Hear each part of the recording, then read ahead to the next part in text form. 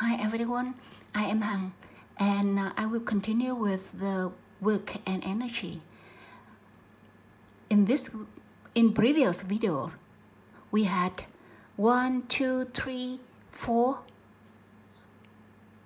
points here and in this video I will talk about the potential energy, mechanical energy and conservation of mechanical energy. Now we quickly move to that topic is right here. Firstly, I want to remind about the conservative forces. Remember that a conservative forces is um, when you calculate the work based on that force. So the work just depends on the initial and the final positions. It doesn't depend on the way, the path that the object move the, the object moves from um, initial position to the final position. Now we calculate the work done by gravitational forces. Suppose that we have the earth here and the object here. This one is the surface of the earth. So this one it have a mass is uh, m here and this one the mass is capital M. So we have uh, the this initial position here we have R1 and final position here we have R2 and if the object move by this curve so we consider at this position we have a gravitational forces point to the center of the earth like this and this one is the ds that the the distance that the object moves on it. So how do we calculate the work? We also base on the definition. We get the force time to the distance. But in this case, we have to divide the distance in many small pieces because the force always change and uh, the distance is a curve, it's not a straight line. Why I say the force is, uh, why I say the force change changes are always changes because you see this one is the gravitational forces and this one is a formula for gravitational forces. Chi is a, a constant m is the mass of the earth. And this m small m here is the mass of the object. Just only r is the distance from the object to the the earth. Here it it always changes Therefore, force is not a constant. And moreover, you can pick up randomly the path from 1 to 2. Therefore, the distance is not a straight uh, line. Uh, therefore, we have to apply this formula. So based on this formula, if you want to calculate the work from 1 to 2, you have to do the integrate integration from um, uh, from here and from here you have uh, the work equal this integration when take a look here you have a chi m capital m and small m uh, are constants. Uh, so you don't care about it. You just focus on r here r square. You do the integration and you have this formula. And now um, based on this formula i uh, my definition so not mine. Uh, people define and call this one is potential energy. Potential energy. This one potential energy at the position R2. This one potential energy at position R1. So uh, we have formula for poten uh, potential energy is chi, capital M, M, and distance. Here is a defi uh, definition of potential energy. Take a look here. So here we have a final potential energy and here we have initial potential energy. If you get the final value minus the initial value, so you have the delta potential energy, the change. And the, the sign minus here, you rewrite it. So you have a relationship between the work and the potential energy Remember, we just consider the uh, gravitational forces, and the gravitational forces is a conservative forces because it just depends on distance. The work on it calculate when you calculate the work on it just depends on the distance only. So here the relationship between the work and the potential energy uh, in a system just contains uh, conservative forces. Uh, work equal uh, minus delta U. Here is the definition of delta U. C here is the, um, uh, you can pick up it.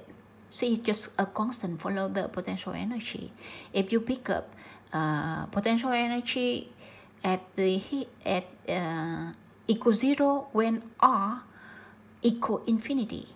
So here you write zero, here you write infinity, so C equals zero. So C just a constant. So in this video, uh, I um, want to make some conclusions. The first one, the definition of potential energy. In uh, this case, gravitational forces. So potential energy defined by this formula and the relationship between the potential energy and the work in the system, uh, which contains only uh, conservative forces. This one relationship between them.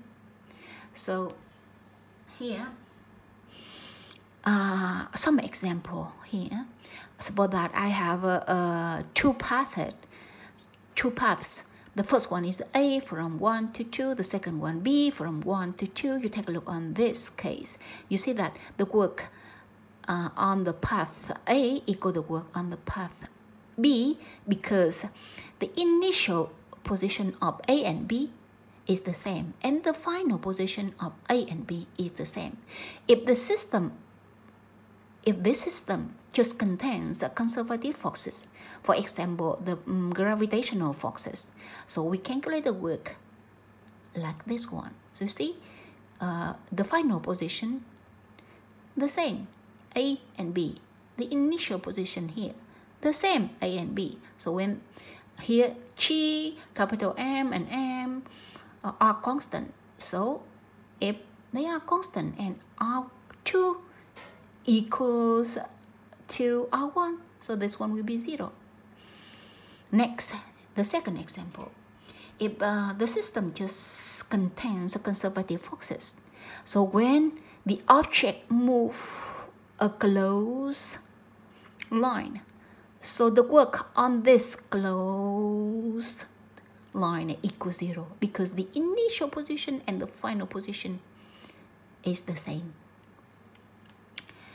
And next, here uh, I want to summarize uh, uh, something related to potential energy.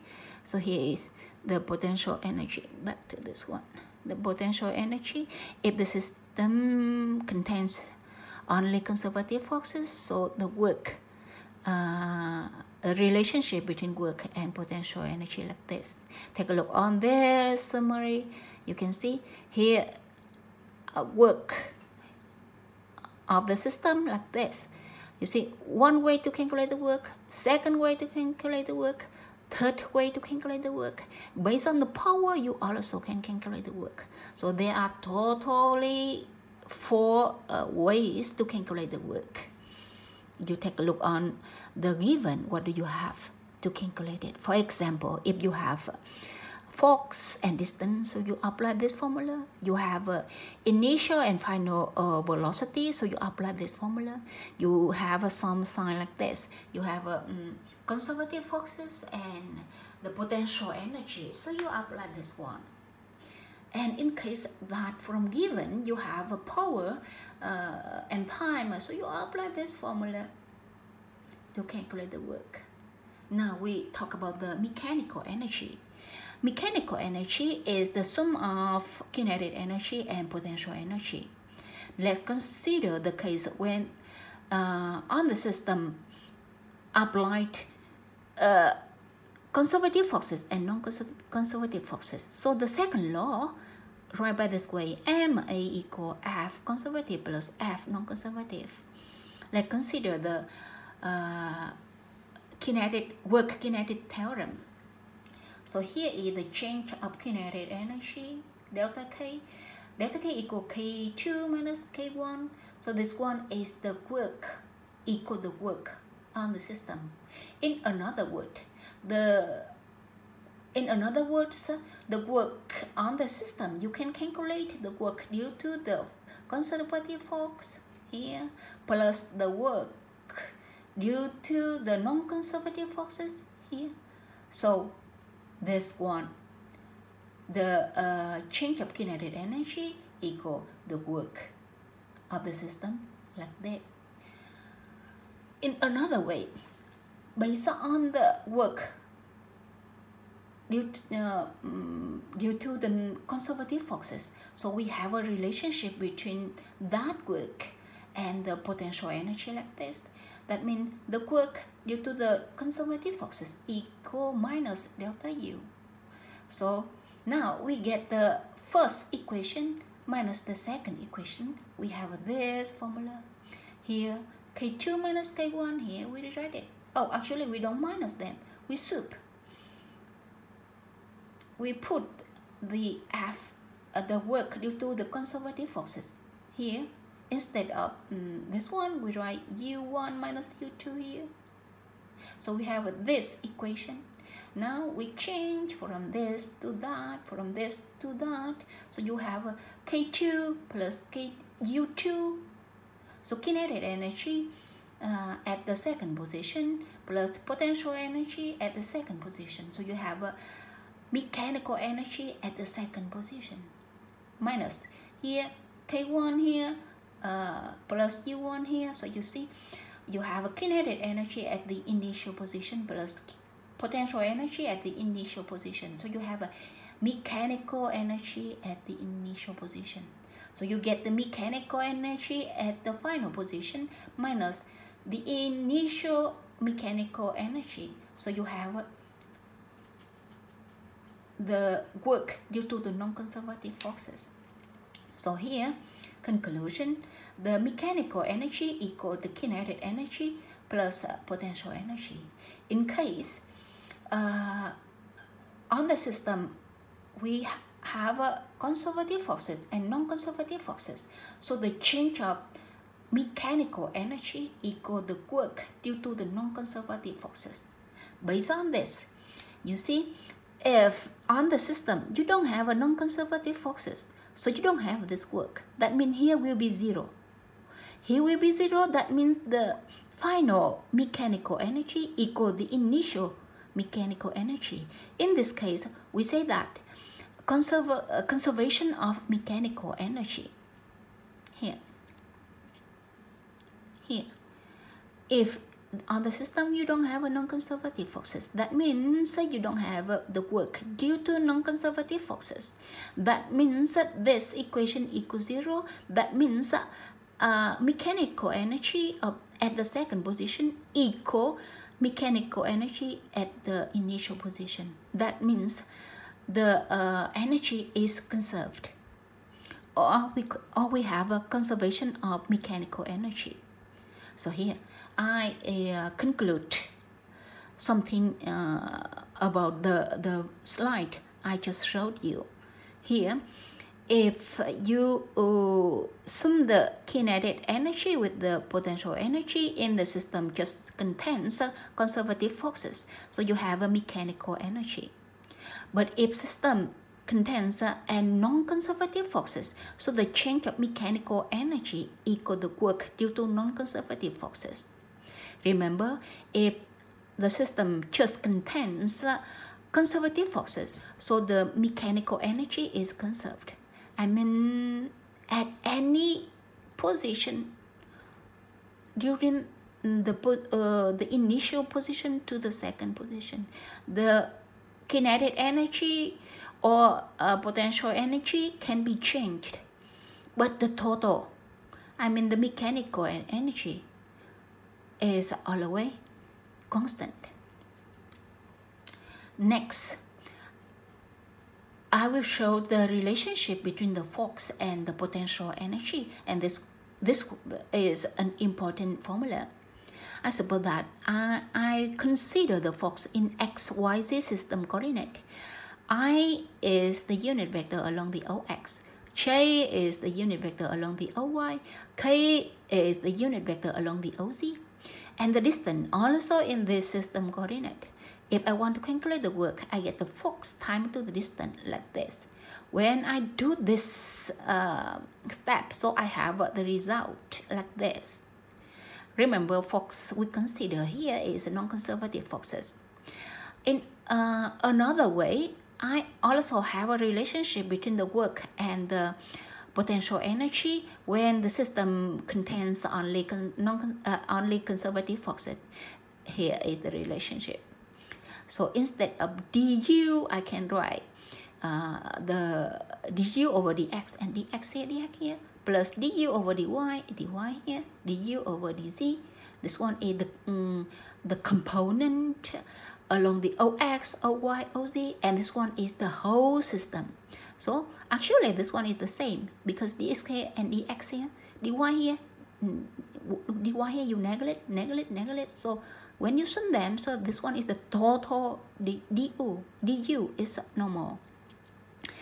So I have two formula for work. This one, this formula based on the force and distance. This formula based on the potential energy. Now I compare them.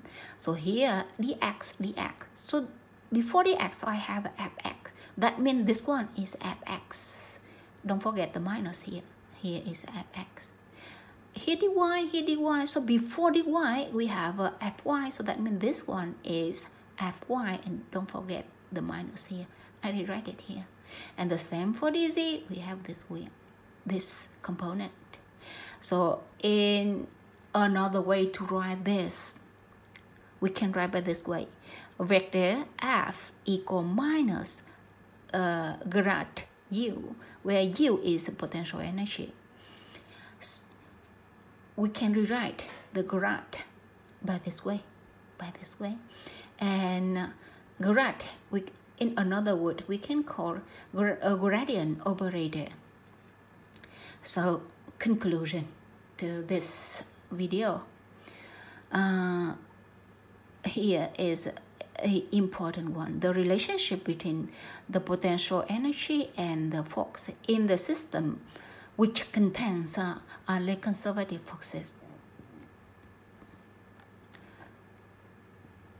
Where uh, in another way to write this one. So you write fx equal minus dx over du. fy equal, this one is fx, don't forget the minus fy and f um, z. Thank you for listening.